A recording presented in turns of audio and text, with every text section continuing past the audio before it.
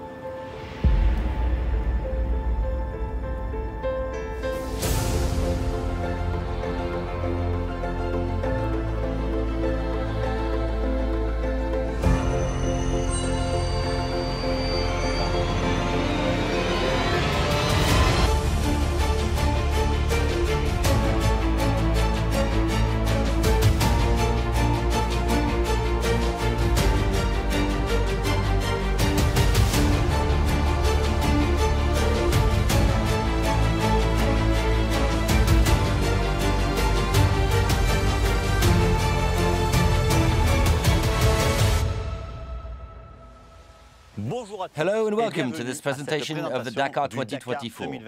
It's a Dakar that we wanted with a few surprises and special features, but before we talk about it, let's take a look at the route in its entirety.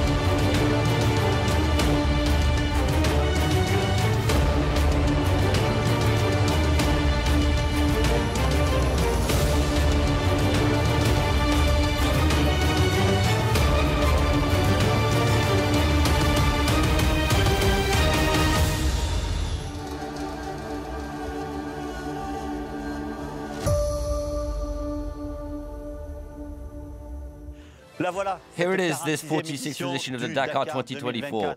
100% Saudi Arabia, with a Dakar that we wanted to be quite tough right from the start. A tough start with three long special stages. Heading down south into the empty quarter, and it's big tunes, not like last year when they were at the end. Now that they're at the heart of the rally, and then there will be six long stages to reach the finish. This year's Dakar will set off from the city of Alula in northwestern Saudi Arabia, a city which is very popular with tourists from all over the world, and which will welcome the Dakar Caravan at the beginning of January. On January the 3rd and the 4th, administrative and technical scrutineering, then on the morning of the 5th, all the competitors will take part in the prologue in an absolutely magical setting. And then on the morning of the 6th, the first of the 12 stages of this 2024 Dakar. After Africa and South America, it's Saudi Arabia that welcomes us with its countless fields of expression and immense deserts. And before I hand over to him, I'd like to thank the Prince Khaled bin Sultan Al Abdullah Al Faisal and the entire Saudi Motorsports Federation that he leads. Dear friends, it is my sincere pleasure to stand here today in Al Ula, the land of civilization, and welcome you to the starting point of the fifth successive edition of the Dakar Saudi Arabia 2024. This region carries a historical and humanitarian heritage that extends deep into history with cultural and natural roots shaped by successive civilization of more than 200,000 years. It has been a destination for travelers and explorers for millennia, and its many archaeological treasures ensures it remains one of the world's most important historical exploration sites. As we celebrate the fifth year of the Dakar Rally in the Kingdom, the world's attention once again turns to Al Ula, the arrival of the most elite rally drivers from around the globe for their next adventure here in Saudi Arabia is one to celebrate, as they take the most prestigious and challenging endurance rally on earth. Hosting the Saudi Arabia Dakar Rally for the fifth consecutive year is a significant achievement for which our deep gratitude must go to our king, the custodian of the Holy Two Mosques, King Salman bin Abdulaziz Al Saud, without whose unwavering support for the advancement of the sports sector, none of this would not be possible. It also reflects the dedication and continuous backing of His Royal Highness Crown Prince Mohammed bin Salman bin Abdulaziz. May God protect him as well as the relentless drive of His Royal Highness Prince Abdulaziz bin Turki Al Faisal, Minister of Sports, who have done so much to provide the resources that have allowed the kingdom to consolidate its position as the new home of motorsports in the region in the past decade as stay true to the goals of Vision 2030.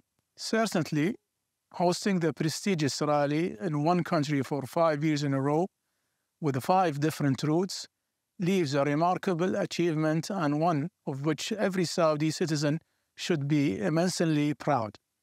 The last five years have been a journey of excellence script by Saudi Arabia, proving to the world its capabilities and abilities, reaffirming its leadership as a hub of motorsports and, in a particular, as a true home for the Dakar Rally. This year, we once again open our arms to welcome you to a renewed date with adventure, excitement, and thrill.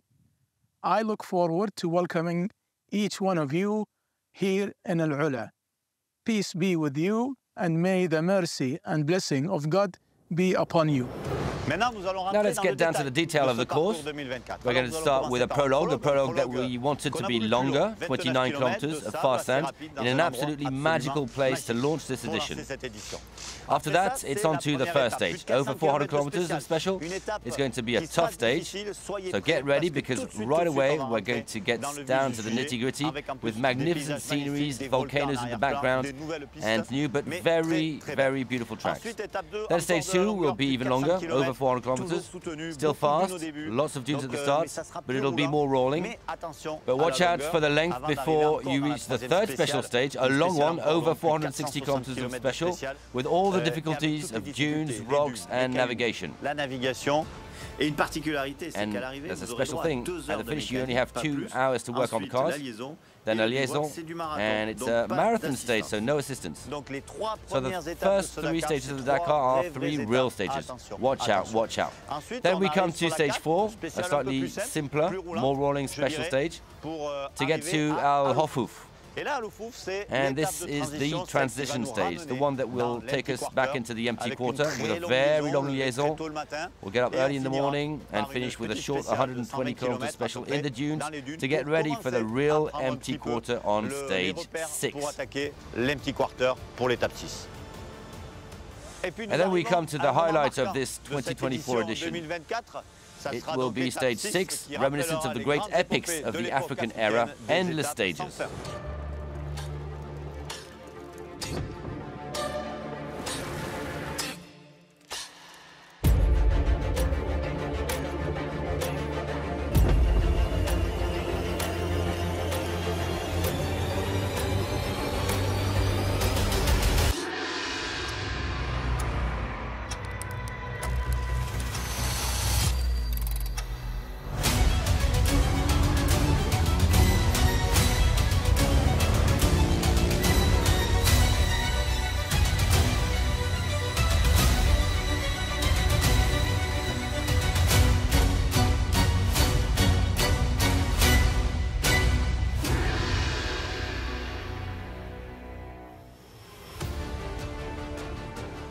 So here's this 48-hour stage, this surprise of the Dakar 2024.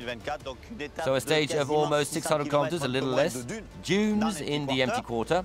But what makes it special is that it will take place over two days. Yes, two full days to cover 600 kilometers. It's rare, but we don't have a choice.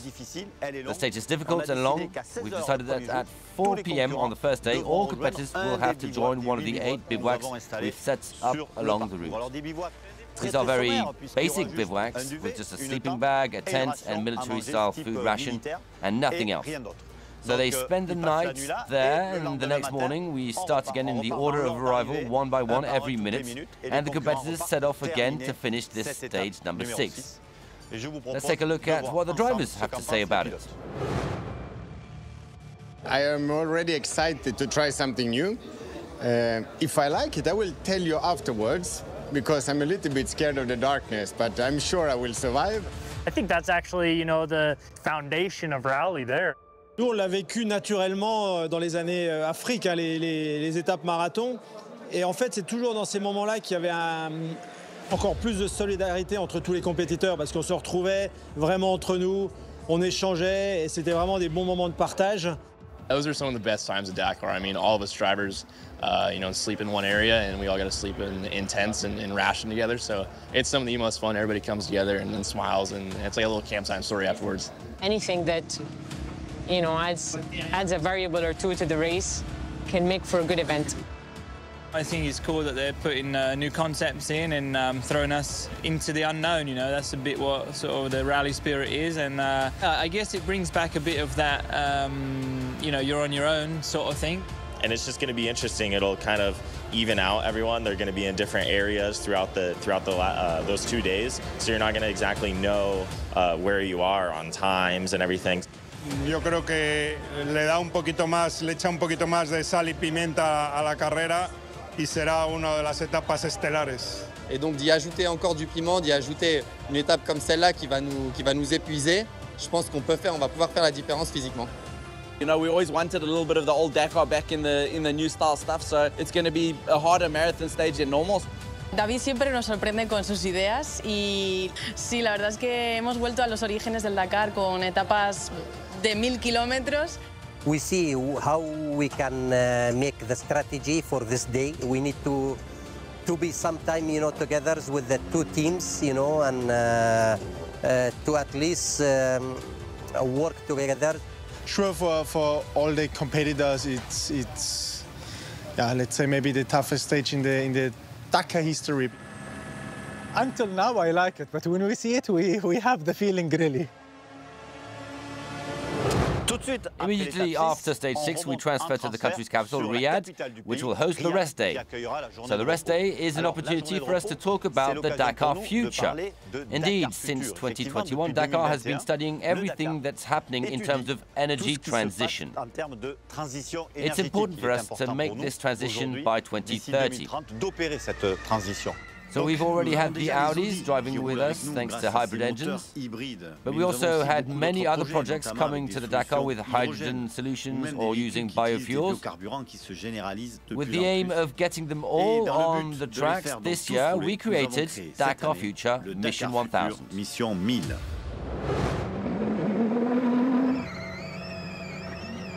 The transition is underway. The Dakar 2024 will serve as a laboratory with a view to a low-carbon 2030 horizon. More than an automobile competition, it's a challenge open to alternative energy vehicles. Seven projects have been selected, lining up 10 vehicles, cars, motorcycles and trucks. Our vehicle is a medley of new technologies linking a combustion engine and an electric engine. The idea was to, to start using this hydrogen, converting the truck, and make it possible to make a greener race. The Dakar gives me the possibility in 2024 to compete with an electric motorbike. Our target is to make realize the hydrogen engine the solution for the carbon neutral society in the future. Hydrogen, electric or even a hybrid powertrains with a minimal amount of synthetic fuel. The aim to test these alternative energy vehicles in real conditions on parts of the stages. 1,000, as in 1,000 kilometers to be covered over the whole rally. Around 100 a day in extreme conditions. Evaluation criteria will be used to establish a points-based ranking. We're going to do tests during the 2024 Dakar to then develop bikes that can do a real rally, a real Dakar in 2025. Un vrai Dakar en 2025. Step by step, we want to show the potential year by year. We love the Dakar, and if the Dakar is willing to reduce this footprint, this is a good opportunity. On vise le Dakar We aim at the Dakar, but not in a simple way. We're going to add a dimension to the project thanks to the technological developments of a clean vehicle. The future is here. These vehicles will be the future of the Dakar. Each competitor becomes a pioneer of Dakar future and a player in the future of mobility. Then it's on to the second week with a very strong start between the capital Riyadh and Al Duwadimi. 476 kilometers of special, a complicated stage to start with, with navigation, sand and stones. All the ingredients are there. After that, we'll alternate a little. Second stage to get back to Haro for this second week. A little easier with sand and a transfer in the middle, so not too complicated. After that, we'll head down to Alula, which we'll reach for the second time on this Dakar with a 100% sand special, 435 kilometers, magnificent, not always easy, but a very, very beautiful stage. Then, once again, we ease off a little, a big loop around Al Ula, exceptional scenery, these big rocks where we'll be slaloming, looking for the right track in the middle of canyons. A beautiful stage for over 350 kilometers. Not too difficult before tackling the main event at the end of the Dakar. This is stage 11, which will take us back to Yanbu. Those who remember it well will be those who had a puncture last year on stage 2 of the Dakar 2023, because we'll be going on the same rocky, complicated tracks. So watch out for punctures. On this stage 11, all the cards can be reshuffled. And then it's the last stage of the Dakar, a short stage, of course, to finish off the rally in style on the shores of the Red Sea, where the finish of the special stage will be judged. Then it's back to the big city of Yanbu, which will welcome us on the shores of the Red Sea for a grand arrival ceremony, and we'll be celebrating the Dakar heroes in style. There are 4,700 kilometers of specials to cover on this Dakar, a long Dakar with 3,300 kilometers of liaison, a Dakar that will start on January the 5th for the prologue, January the 6th for the first stage, and will finish in the town of Yanbu on January the 19th.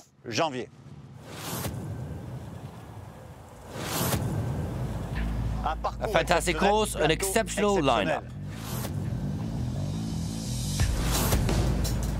Once again, six factory teams will be joining the Dakar 2024. We'll have KTM with its trio of former winners, title holder Kevin Benavides alongside Toby Price and Matthias Walkner.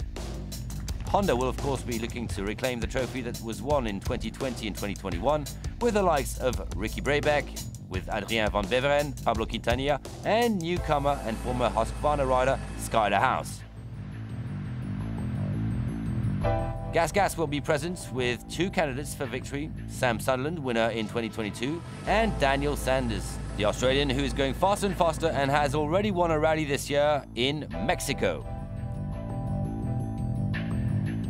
Husqvarna will also be present with recent W2RC Championship winner Luciano Benavides, not forgetting, of course, the hero team with its top rider Ross Branch and newcomer Joan Barreda, who joins the team this year.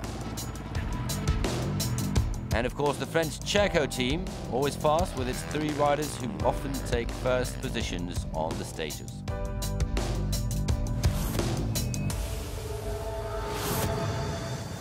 On quads, Alexandre Giroud will be looking to make it three after his two victories in 2022 and 2023.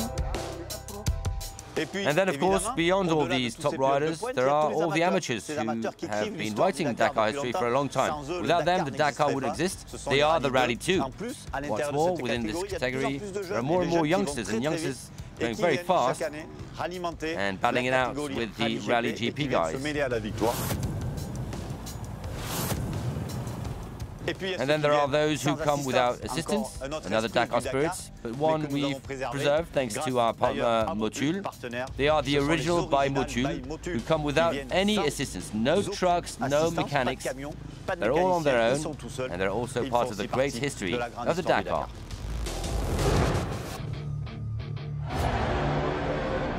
You know, you take the hardest race in the world and you make it harder, Every day, when you cross that finish line, you know that you've done it all on your own. You've had no help, you've worked on your own bike, and you've got this.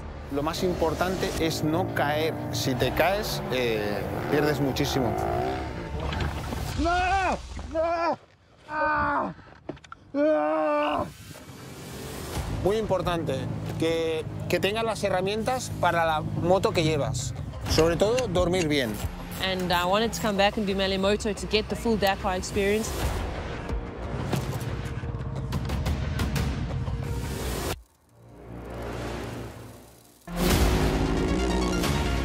Crazy can't describe them because what, what, what you go through here and where the conditions you sleep in and um, the hours that you get sleep, you're like wired differently. Um, but it's just because we love the sport so much.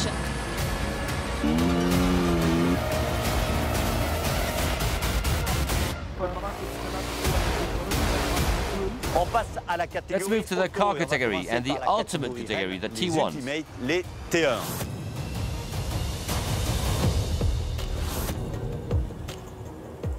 Defending champion Nasser Al Attiyah has changed vehicle and team. Like his rival Sebastian Loeb, he will be driving a Hunter Prodrive.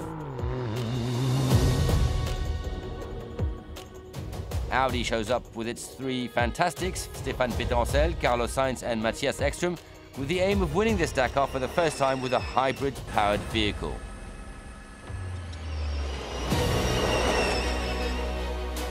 At Toyota Gazoo, former winner Giniel de Villiers is joined by two young guns, Lucas Moraes, third of the last Dakar, and American Seth Quintero, who's changing categories.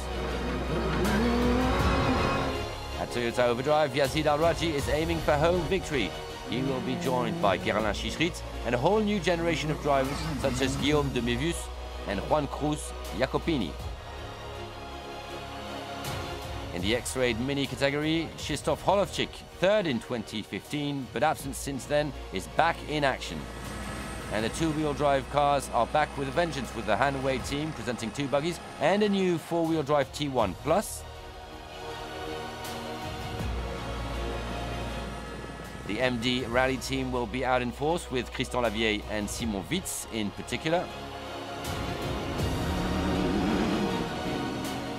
And look out too for the Century Racing buggies with Mathieu Serradori in his SR Team team. And welcome to Ford, joining the adventure with the aim of winning in the years to come, notably with former winner Nani Roma. We move on to the T3 category, renamed Challenger T3. The Red Bull Off-Road Junior Team USA fields defending champion Austin Jones and another contender, Mitch Guthrie. The Red Bull Can-Am Factory team sees T4 runner-up Rokas Baciuška move up to the next category. He will be accompanied by Cristina Gutierrez and Chaleco Lopez.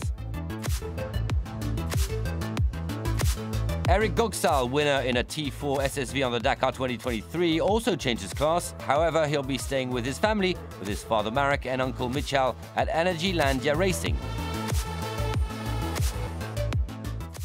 Yamaha will also be present with former quad winner Ignacio Casale.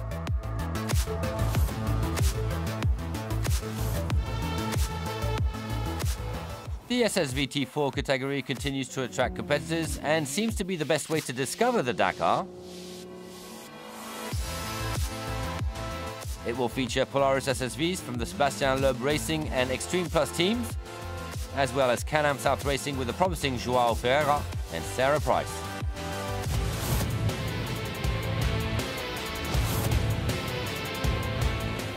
Finally, in the truck race, Janus van Kasteren is putting his title back on the line. He will once again be battling it out with the Czechs Martin Macík and Aleš Loprais, as well as Dutch compatriots Martin and Mitchell van den Brink.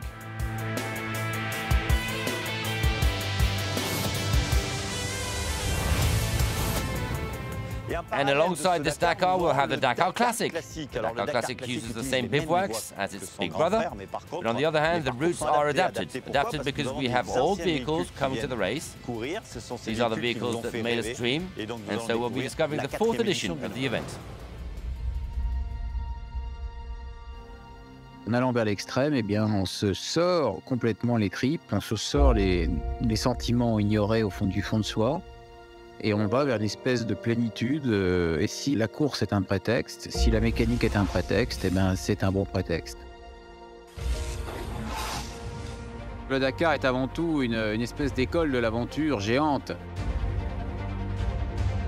C'est un moyen de remettre en avant des notions euh, pour moi très importantes, notion d'audace, notion de courage, notion de toujours aller de l'avant et toujours aller un petit peu plus loin. Et c'est pour cela que tous les ans, nous recherchons non pas la difficulté gratuite, mais euh, la piste, la piste euh, entre guillemets, qui nous permet d'aller au-devant, eh bien au-devant de, sentiments forts, de souvenirs impérissables et aussi surtout de grands moments dans notre vie d'aventurier moderne. On y est arrivé, je sais pas comment, mais on y est arrivé.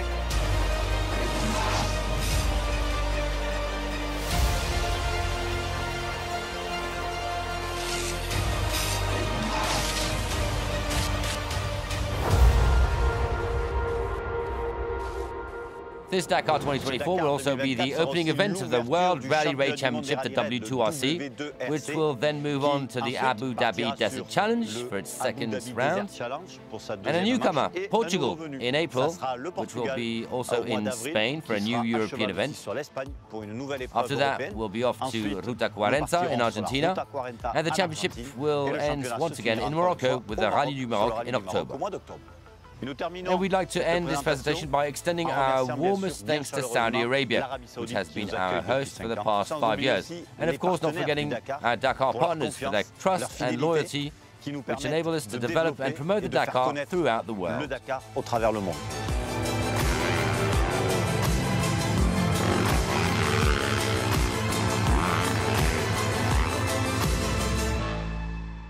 Thanks to all of you, and now let the adventure start.